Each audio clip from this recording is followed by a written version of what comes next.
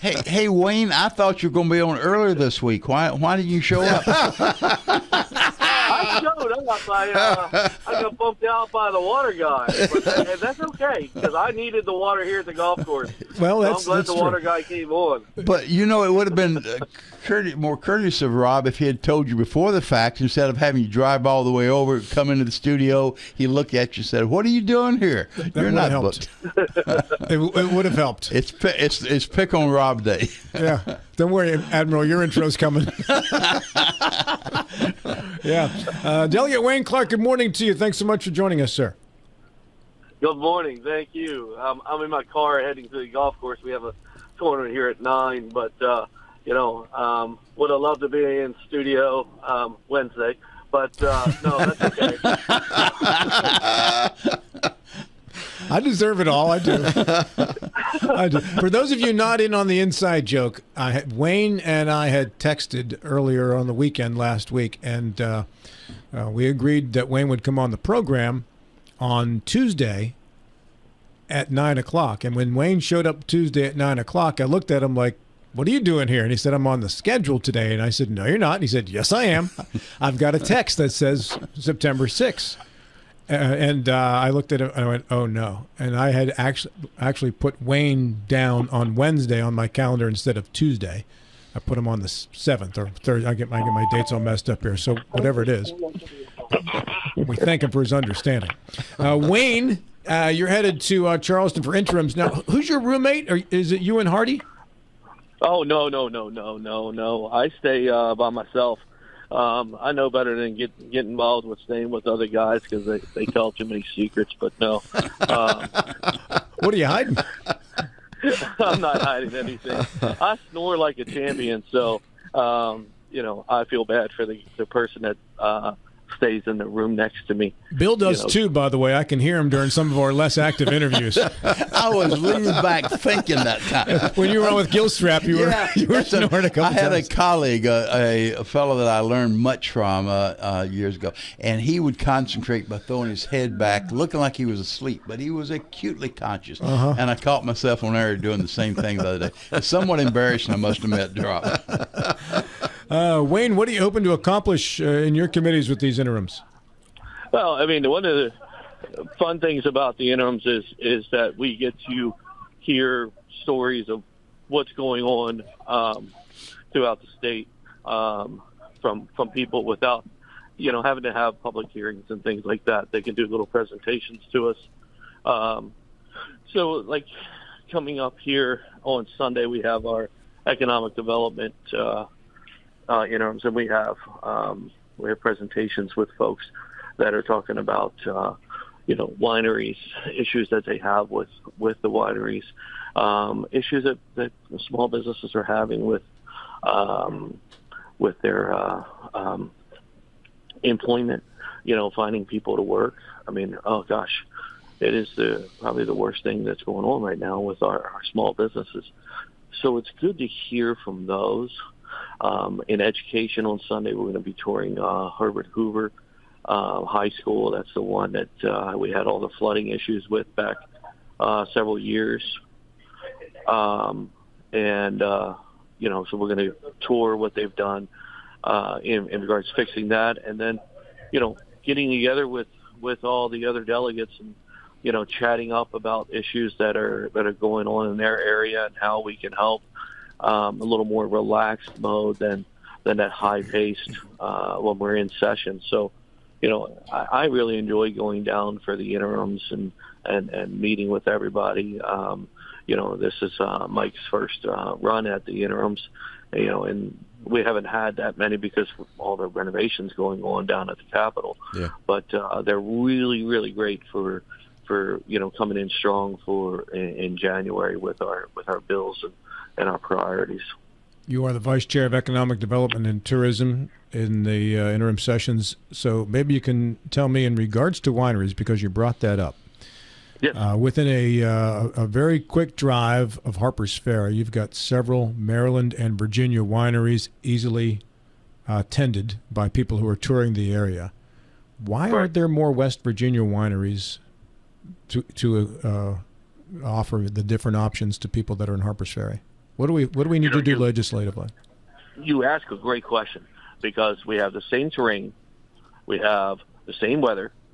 Um, the biggest thing we don't have, we don't have the same legislature. Um, so, you know, Max, who is our our staff attorney for economic development, tourism, um, we have taken the entire uh, Virginia um, uh, code and we're trying and we're mirroring that in with our West Virginia code. We've sent a draft over to um, uh, Fred Wooton and Anoop over at ABCA for them to review um, and give us ideas of some changes that we may need to make or whatever. But we're we're doing everything we can to kind of even the playing field between the two of them. Um, but there are so many little things that are just like offset that you know um, that you know causing all kinds of problems. You know, um, last session we uh, did an ABCA uh, rewrite of, um, and we introduced a new a new program which is called the POTUS, which is a public outdoor designated area. What that basically does is gives your municipalities the option of creating this space. And so if you have a uh, patron at restaurant A and they said, well, I want to go and walk over to restaurant B. Um, can I take my drink to go? Well, they they all share the same. Uh, they all buy the same uh, designated cup, and so patron can grab their cup and make their way over to restaurant B. And when they arrive at restaurant B, they can you know um, order food and all that stuff, um, and then you know if they want to go to restaurant C, they get the cup again, and they make their way over.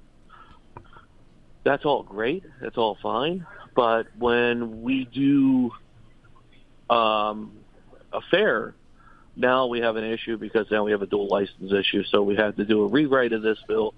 Um, but these are all things that come about in these interim sessions that we're talking because everybody's kind of talking. You know, they're talking about what's going on uh, in their area and what we can do to help. So hopefully uh, our, our changes make big differences in the uh, uh, the wineries and and, and other stuff. Mike Hite. This is this Wayne. Correct me if I'm wrong, but this is all part of the like the agritourism um, in, in, code, and and I know that I've talked to some of the people at these fairs, winery fairs, and stuff like that, and the, and they've complained that that certain ones of them they can they can sell wine by the bottle, but they they can't do samples or they can't sell it by the glass, and then there's somebody over you know the next truck over that that can sell it by the glass, but they can't sell the bottle of what they're selling you by the glass. So there's a whole lot of different rules and regulations that just yeah. doesn't seem to mesh very well. Um, and I think that's one of the things you're trying to tackle, is it not? Correct, correct. We're gonna make it all, you know, one all-inclusive kind of deal. You know, um, so where you know everybody can go to the fair and it's all on an equal playing field. I go to a winery in Maryland or Virginia I can sit down. I can I can do a sampling. I can buy a bottle of wine. I can open it and I can drink it there. Yeah. Why can't we make it that easy in West right. Virginia? And I think that's, that's our goal. Yeah, that's our goal. I, it doesn't in 2023. Why isn't this already in place? And and I think as as legislators, we sort of scratch our head when we hear these things and say the same thing. Why why have we made it so difficult? Um, and you know, I applaud um, uh, Wayne and, and his uh, his committee for, for tackling this and trying to get it correct. Why are the legislators so involved in micromanaging what I would think would be a private industry function? Well, I think we, what's happened in the past is I think there th- these laws didn't take into into account these these um, fairs and festivals, and and they're sort of antiquated at this but point. But do the laws need to be that restrictive uh, at any point well, in time? Because 50 years from now, they're going to look at what you you as legislators are doing, mm-hmm. and could very well say the same thing. Probably not about wineries, but, but something else. My point is, why should the? And I think this is this is kind of typical. A lot of what West Virginia legislators have done and continue to do is to get overly involved in things that should be at the county or the local level. So, Bill, one of the biggest things is is West Virginia is still, under our Constitution, still a prohibition state. So anything that we do has to be allowed by legislative ruling. Okay, so we're not trying to micromanage it. Basically, if we if we could do it, if I could do it my way, I would say uh, all wineries are farm wineries, which allows them to grow, sample, uh, taste, sell, do, boom, bang, and just go down a list and say aloud everything that we want them to do. But because of our issues that we have with our prohibition, we can't technically do that. So then we have to rewrite things. Now, we would love to, you know, put it on, you know, on a referendum and have a have a vote, you know, by the by the by the citizens. But uh, you know, this legislature, I mean, we're 0, 0 and 4 so far on that on that angle. So you you're, know, you're due, Wayne. You're due. yeah, don't don't get discouraged, Wayne. Just because you're batting zero. you know, you know. I mean, you know, you you got to at least get a, a, a snip of the ball. You know, at least foul one off mm-hmm. once in a mm-hmm. while. But uh, be nice. Know, I mean, we yeah, we would love to do that, but I don't think we can. What are what are some of the restrictions at your golf course, for instance, that you would like to see relaxed to allow for an, an experience for the golfer that's more than just come in, hit a ball, go home? So, you know, here's the great thing about the golf course is um, we are we are one of few golf resort uh, establishments, and what that does is my whole 168 acres is equivalent of being inside of my bar. So you can consume anywhere on the property. You can consume wine, liquor, um, beer, all that, all, anywhere on the property. I can sell it. I can put little, you know, temporary uh, booths out on certain holes and sell it. I can do all that stuff. But here's the one thing I can't do. I have this big open field right next to the clubhouse. I can't invite you know 25 um, family brewers. Okay, and a family brewer is your craft breweries. All right, that's the name that we give them. I can't invite them here to do a you know a beer festival. Uh, they can give little samples, but they can't sell it, so they're not going to make the money out of it. They're just going to be giving it away. So, you know, having them be able to come here, have samples, have a beer garden, people can buy you know one of the, a glass of their of their beer, you know, have a band, do all that stuff. It's the fair and festival um, dual licensing thing that um, is an issue that again is something that we're looking at in regards with the PODA situation. Um, the dual licensing would allow for me to actually bring in the the beer companies and let them sit there and um, sell and you know um, have a good time. It, what the irony of this to me is that if I have uh, acres where I'm growing grapes, I would ha- I would have an easier time selling alcohol on that land if I mowed the grass tighter and held a golf tournament on it than I have while I'm growing grapes to grow wine and make wine on it. do, do, you, do, you, see the ridiculousness of that? Yeah. Well, it, well, I, will give you an example. Uh, the Mountain Lake Club uh, up on Shenandoah, um, up up on the mountain, mm-hmm. um, when they were going through theirs because they they can't they can't sell wine and liquor down on the beach. They can sell beer in a can, you know, because uh, and they were like, well, Wayne, all right, how how much is it going to cost me to put in a nine hole golf course, mini, mini golf course? Yeah, I literally that's what he was looking at. If I put a mini golf course over here on the other side of the lake and then I encompass the whole thing. Now I'm a golf resort. Now I can do what I want. Yeah, Wayne, you're. It sounds like you're looking for a series of band aids. Uh, and going back to the discussion we had a couple minutes ago about a referendum constitutional amendment, uh, we are uh, restricted to a large degree about the way our Constitution was written first, I think, in uh, 1870s, and then rewritten in the uh, uh, during the Depression era. So we do have certain burdens placed on us. I thought the constitutional amendments that were presented a couple uh, this past summer were failed in large part because of the way they were promoted. Uh, they did not. They uh, they they were open and exposed to the public in such a way they were highly controversial. I come back sure. to the fact that that I think that something like this, it's time that we took a serious look at our constitution and trying to correct these problems without doing a band-aid approach. I, I agree 100% you know, and I, I would love to see it go up for a referendum and, and you know, or, or for for vote and get rid of it, you know, um, and just rewrite the entire, you know, ABCA uh, laws and and many many other things that uh, myself and Gary Alf, you know, we've talked about all these other, you know, wish lists of what we could do, everybody in leadership is afraid of, you know, well, we put it out there. Are we are we are we going to win? You know, are we going to put our neck out again? And are we going to win? I don't know. I think we would. Um, you know, but uh, you know, there's there's still a you know a, a large majority, you know, even in our our Republican legislators that you know that are 100% against alcohol. We know that there's 26, 28 no votes from Republicans on any ABCA bill because they're against alcohol. Yeah. Period. Yeah. Is that mostly a Southern delegation? Mm. Majority, yes. Yeah. But it's it's also it's a little spread out. I mean, it, it's not all the Southern delegation, but I would say the majority of them are from the southern part of the state. Would would that re- reluctance within the legislature would that be manifested in the population as a whole? I'm going back to the referendum. If you have 25 to 30 percent of the legislators against alcohol, you would anticipate 25 to 30 percent of the electorate to be uh, against alcohol as well. Probably correct. Yeah. Yeah.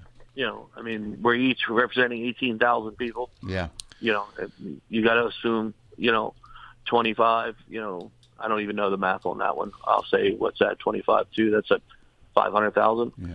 But even at that, that even at that, we should be able to get it passed. You should. You would think so. With the I think last year, I think you know we we had too high of a, an expectation with four constitutional amendments on the referendum all at one time, and when one was so controversial. It sort of toppled the whole thing, exactly. and all of them died. It's, if we were to if we were to put this on the referendum, you know, a constitutional amendment to ABC laws, um, like what Wayne is suggesting, I think if that was the only thing, yeah. that it would probably pass. When you start pairing things together, sometimes people, if I'm going to vote one, no on one, I'm voting no on all. Exactly, I agree. I think if number two had not been on the ballot, yeah. one, three, and four would have passed. Yeah. Yeah. I agree. Wayne, you open to tackle while you're in Charleston, if anything? Um, you know, other than that, this this session, not not much. Um, you know, this interim, uh, I don't have too many things planned. I got to get back to the golf course. You know, um, you know, we're struggling with this drought, and we're doing everything we can to, you know, get get our golf turf, you know, growing uh, again. So, um, you know, for me, it's going to be a quick one down, come back, and get right back into the the the the, the grit of uh, running the golf course. Let's talk about the Republican Party a little bit statewide while we have a chance with new announcements sure. of, of uh, people challenging other Republicans in primaries, uh, both at the local level and at the state level. Uh, because the real race now has become the Republican primary. The general election is, in fact, an afterthought for most races in this state now. Wayne, uh, your opinions on what you're seeing? Well, I mean, we, we kind of we kind of started seeing the fact that, um, you know, uh, I'll use the term "eat your own" um, is is kind of what's coming about. I mean, right now I have a I have a primary opponent, and there's word on the street, and that I uh, I'm going to have a second primary opponent. Um, you know, so that's what you're going to start seeing. Is you're going to start seeing in the primaries, you're going to start seeing three, four people running uh, against each other um, in these primaries. Do I understand why I have an opponent? I don't. You know, I I've been extremely productive in my my three years down in Charleston. You know, um, you know, close to fifty. I think I'm at forty nine bills that I've sponsored or co-sponsored that have become law. I mean, my resume itself is just through the roof. Um, you know, I believe I've done everything uh, to the best of my ability and to the best of you know representing my citizens. But you know, you're always going to have someone that's going to say, "No, that's not true." And I'm sure just after I said that, someone on on on on Facebook or or YouTube said, "No, that you're you're not Wayne," and and so you know, there the opinions of it, and so then once that kind of manifests, then next thing you know, you know, we have three, four, five people, you know, running for for governor, running for you know Congress, running for Senate, running for auditors. I mean, just on and on and on, and and we're all running against ourselves. You, you know, know, I'm surprised. I'm surprised, Wayne, how many times you see in these races where somebody decides, you know, I want to, I want to be the the legislative um, representative for this area. Not that you, Wayne Clark, are doing a bad job. I think you're doing a, a good job, but I, I, want your position, and that's the reason I'm running. Um, and I'm surprised how many times that happens when your legislator is actually doing a good job and you think they're doing a good job, but you know it's it's they want to get into it regardless. Isn't another reason yeah. though, Mike? Uh, and that's ideologic ideology, and someone is more ideologically extreme.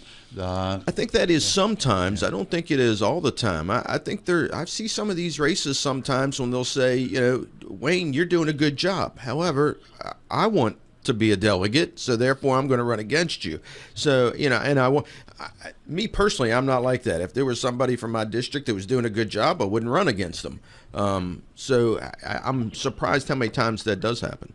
But doing a good job is certainly very subjective as to yeah. what sure. you regard as being That's a good right. Absolutely. job. And I, I kind of rotate back from my perception. It's more ideologically driven than it is how the job is being. And done. I'll give, I'll say, you know, Charlie Trump is an example. You know, mm-hmm. there's very few people that think that Charlie Trump's not doing a good job as a senator from his district, and yet he gets primaried.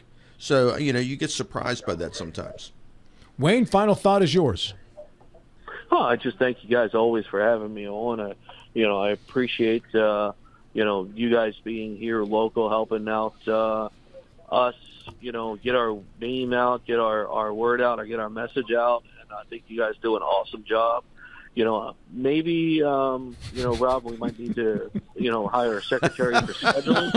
I knew it was coming. Well, I knew it was coming. Uh, but pers- persistence pays off, Wayne. You'll eventually get on. Get on. what we've what we've learned, Wayne, is a valuable lesson. Before you drive in from Charlestown, verify. Trust. What, what, what they used to say yeah, with the Russians: trust, trust, trust and verify. verify. Right? Yeah, trust and verify. Yeah.